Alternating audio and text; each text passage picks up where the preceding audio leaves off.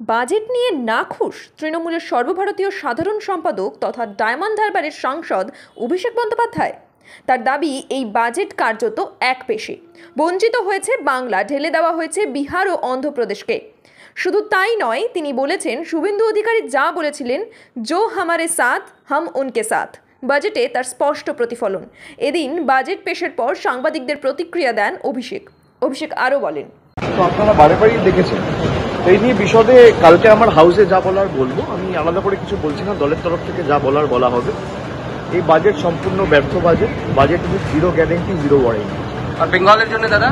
বাংলাকে তো বারবার বঞ্চিত করে রেখেছে। বাংলাকে বঞ্চিত নিপীড়িত লাঞ্ছিত শোষিত করে রেখেছে বিজেপি এ তো নতুন কিছু নয়। এই যে বারোটা সাংসদ পাঠিয়েছে আর আজকে কি? নেটফল শূন্য। শুভেন্দু অধিকারী চার দিন আগে যে কথাটা বলেছিল জো হামারে সাথ হাম উনকে সাথ। তো প্রমাণ করে দিল যে নিজের সরকারকে বাঁচিয়ে রাখার জন্য বিহারকে আর অন্ধ্রপ্রদেশকে অন্য রাজ্যকে দিক, আমাদের কোনো আপত্তি নেই। কিন্তু বাংলাকে বঞ্চিত করে রেখে নয়। যে বাংলা স্বাধীনতা সংগ্রাম থেকে শুরু করে নবজাগরণের আন্দোলনকে পথ দেখিয়েছিল, দিশা দেখিয়েছিল সমস্ত দেশকে, সেই আপনারা দেখছেন ইউএন লাইভ বাংলা খবরের শেষ কথা।